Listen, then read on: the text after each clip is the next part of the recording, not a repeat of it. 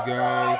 Watch as Dominik Mysterio, Rhea Ripley, and Damien Priest leaves the arena, after WWE Raw, baby.